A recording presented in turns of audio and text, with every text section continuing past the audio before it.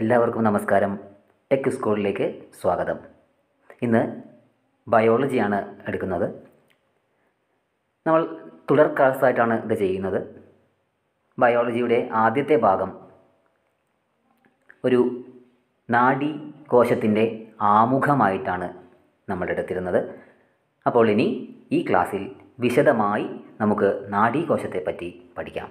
നാഡീകോശം അഥവാ neuron nerve cells എന്നും പറയും. നാഡീ വ്യവസ്ഥയുടെ അടിസ്ഥാന നിർമ്മാണ ഘടകങ്ങളാണ് നാഡീകോശം അഥവാ ന്യൂറോൺ. നിങ്ങൾക്ക് എഴുതിയെടുക്കാനും അല്ലെങ്കിൽ കേട്ട് മനസ്സിലാക്കാനുമുള്ള സമയം ധാരാളമുണ്ട്. അത് വേണ്ടുവോളം പ്രയോജനപ്പെടുത്തുക. അപ്പോൾ നമുക്ക് ഒരു ക്ലാസ് കേൾക്കുമ്പോൾ തന്നെ നമുക്ക് പല കാര്യങ്ങളും മനസ്സിലാക്കിയെടുക്കാൻ സാധിക്കണം. അപ്പോൾ എല്ലാവരും നന്നായി ശ്രദ്ധിക്കുക. നാഡി വ്യവസ്ഥയുടെ അടിസ്ഥാന നിർമ്മാണ ഘടകമാണ് neuron the basic structural unit of nervous system. അപ്പോൾ നമുക്കറിയാം മറ്റെല്ലാ കോശങ്ങളെ പോലെയും നാഡീകോശത്തിനും ഒരു കോശസ്തരം കോശദ്രവ്യം ന്യൂക്ലിയസ് എന്നിങ്ങനെയുള്ള ഭാഗങ്ങളുണ്ട്. കോശസ്തരം സെൽ മെംബ്രെയിൻ കോശദ്രവ്യം സൈറ്റോപ്ലാസം ആൻഡ് ന്യൂക്ലിയസ്. എന്നിങ്ങനെയുള്ള മൂന്ന് ഭാഗങ്ങളുണ്ട്. ഇനി നമുക്ക് നാഡീകോശത്തെ പറ്റി വിശദമായിട്ട് നമുക്ക് പഠിക്കാം. അപ്പോൾ നമ്മൾ ഈ ഒരു ചിത്രത്തിലേക്ക് നോക്കിയാൽ നമുക്ക് കാണാൻ സാധിക്കും ഒരു നാഡീകോശത്തിന്റെ വിശദമായ ഭാഗങ്ങൾ. ആദ്യം നമുക്ക് നോക്കേണ്ടത് ഡെൻഡ്രോൺ എന്താണെന്നാണ്. കോശത്തിൽ നിന്നുമുള്ള നീളം കുറഞ്ഞ തന്തുവാണ് ഡെൻഡ്രോൺ. ഇതിന്റെ പ്രധാന ധർമ്മം എന്ന് പറയുന്നത് ഡെൻഡ്രൈറ്റ്സിൽ നിന്നും ആവേഗങ്ങളെ കോശ ശരീരത്തിലേക്ക് എത്തിക്കുക എന്നുള്ളതാണ്. ആവേഗം എന്ന് പറഞ്ഞാൽ ഇമ്പൾസസ് അപ്പോൾ നമുക്ക് തോന്നാം ഡെൻഡ്രൈറ്റ്സ് എന്താണ്? ഡെൻഡ്രോൺ എന്ന തന്തുവിന്റെ ശാഖകളാണ് ചെറിയ ചെറിയ വിരലുകൾ പോലെ കാണുന്ന ആ ഭാഗങ്ങളാണ് ഡെൻഡ്രൈറ്റ്സ്. ഈ ഡെൻഡ്രൈറ്റ്സിന്റെ ധർമ്മം എന്തെന്ന് വെച്ചാൽ തൊട്ടടുത്ത ന്യൂറോണിൽ നിന്നും സന്ദേശങ്ങളെ സ്വീകരിക്കും. അതുപോലെ തന്നെ മറ്റു ന്യൂറോണുകളും ചുറ്റുമുണ്ടാകും അപ്പോൾ ഈ ചെറിയ വിരലുകൾ പോലുള്ള ഈ ഡെൻഡ്രൈറ്റ്സ് ആണ് തൊട്ടടുത്ത ന്യൂറോണിൽ നിന്നും സന്ദേശങ്ങളെ സ്വീകരിക്കുന്നത്. അപ്പോൾ ഇത് മനസ്സിലായില്ലേ?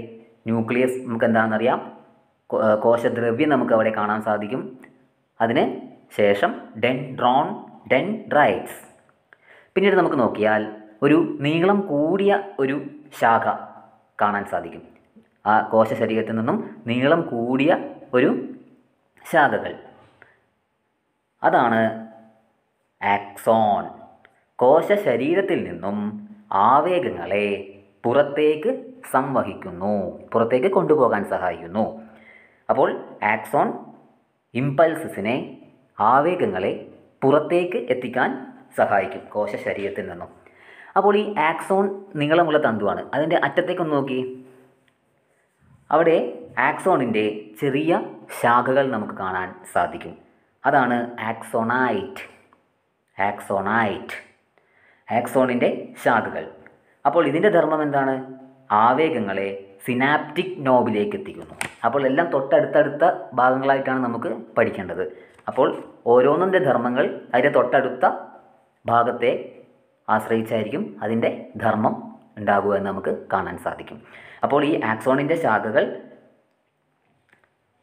ആക്സോണിന്റെ ശാഖകളാണ് ആക്സോണൈറ്റ്. ഈ ശാഖകൾ ആവേഗങ്ങളെ സിനാപ്റ്റിക് നോബിലേക്ക് എത്തിക്കുന്നു. അപ്പോൾ എന്താണ് സിനാപ്റ്റിക് നോബ്? അവിടെ ചെറിയ ചെറിയ ചെറിയ മുകുളങ്ങൾ പോലെ ചെറിയ ഒരു ഭാഗങ്ങൾ കാണാൻ സാധിക്കും ആക്സോണൈറ്റിന്റെ അറ്റത്ത്. ആക്സോണൈറ്റിന്റെ അഗ്രഭാഗത്ത് കാണുന്ന ഈ ചെറിയ നോബ് സിനാപ്റ്റിക് നോബ് ആണ് നാഡീ പ്രേക്ഷകം ശ്രവിക്കുന്നത്. നാഡീ പ്രേക്ഷകം എന്ന് പറഞ്ഞാൽ ന്യൂറോ ട്രാൻസ്മിറ്റർ. അപ്പോൾ നമുക്ക് ഡെൻഡ്രോൺ എന്താണെന്ന് മനസ്സിലായി? ഡെൻഡ്രൈറ്റ്സ് എന്താണെന്ന് മനസ്സിലായി? ആക്സോൺ ആക്സോണൈറ്റ് അതുപോലെ തന്നെ സിനാപ്റ്റിക് നോബ്. അപ്പോൾ ഇത്രയുമാണ് നമ്മുടെ ഒരു കോശശരീരത്തിന്റെ പ്രധാനപ്പെട്ട ഭാഗങ്ങൾ. അടുത്തത് നമുക്ക് നോക്കാം. ഷ്വാൻ കോശങ്ങൾ. എന്താണ് ഷ്വാൻ കോശങ്ങൾ?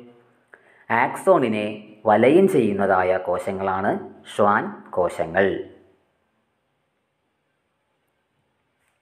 അപ്പോൾ നമുക്ക് കാണാം. ആക്സോണുകളെ വലയം ചെയ്തിരിക്കുന്ന ഒരു സ്ഥലം അവിടെ കാണാൻ സാധിക്കും നമുക്ക്. ആ സ്ഥലങ്ങളെയാണ് മൈലിൻ ഷീത്ത് എന്ന് പറയുന്നത്. ഈ മൈലിൻ ഷീത്ത് ആവർത്തിച്ച് ആവർത്തിച്ച് ആക്സോണിനെ വലയം ചെയ്തുകൊണ്ടേയിരിക്കുന്നു. അപ്പോൾ ഷ്വാൻ കോശം എന്ന് പറയുന്നത് ആക്സോണിനെ വലയം ചെയ്യുന്നതാണ്.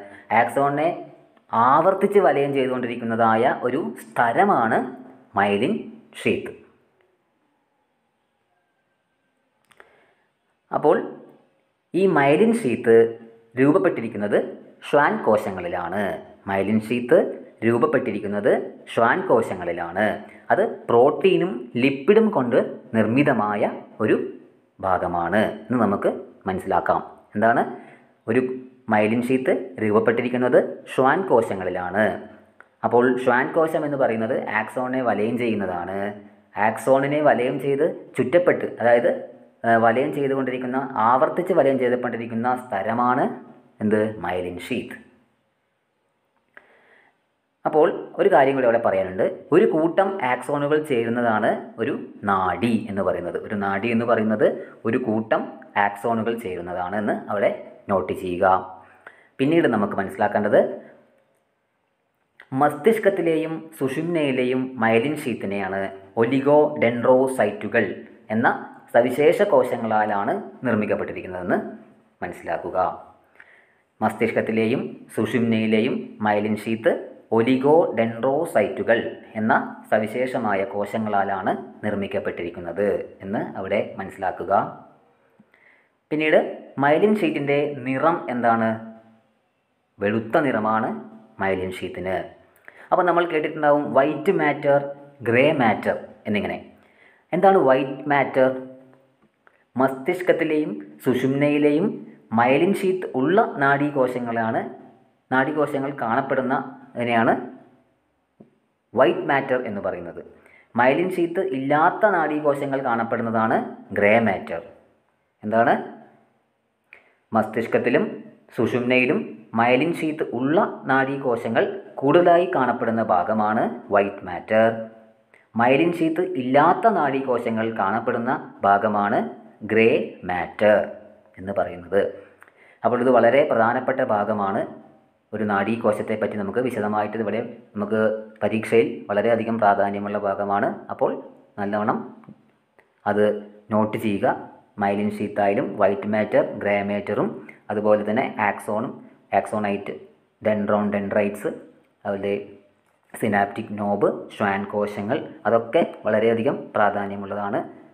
അപ്പോൾ അതിന്റെ നാഡീകോശത്തിന്റെ ചിത്രം വരച്ച് തന്നെ പഠിച്ച് ഭാഗങ്ങൾ അടയാളപ്പെടുത്തി മനസ്സിലാക്കി പഠിക്കുക. അപ്പോൾ ഈ മൈലിൻ ഷീത്തിന്റെ ധർമ്മം എന്താണ്? ആക്സോണിന് പോഷക ഘടകങ്ങൾ അതായത് ഓക്സിജൻ തുടങ്ങിയ ഘടകങ്ങൾ നൽകുന്നു. പിന്നീട് ഈ ആവേഗങ്ങളുടെ ഇമ്പൾസസിന്റെ വേഗത വർദ്ധിപ്പിക്കുന്നു. പിന്നീട് വൈദ്യുത ഇൻസുലേറ്ററായി വർത്തിക്കുന്നു. ബാഹ്യക്ഷതങ്ങളിൽ നിന്നും ആക്സോണിനെ സംരക്ഷിക്കുന്നു. എന്നിങ്ങനെയാണ് മൈലിൻ ഷീത്തിന്റെ പ്രധാന ധർമ്മങ്ങൾ. അപ്പോൾ ഇത്രയുമാണ് നാഡീകോശത്തിന്റെ നാഡീകോശത്തിന്റെ പ്രധാനപ്പെട്ട ഭാഗങ്ങളും അവയുടെ ധർമ്മങ്ങളും. ഇനി നമുക്ക് അടുത്ത ക്ലാസ്സിൽ സന്ദേശങ്ങൾ രൂപപ്പെടുന്നതും അതിന്റെ പ്രേഷണവും പഠിക്കാം. അപ്പോൾ ഈ ക്ലാസ് ഇഷ്ടപ്പെട്ടാൽ എല്ലാവരും ഇത് സബ്സ്ക്രൈബ് ചെയ്യുക. താങ്ക്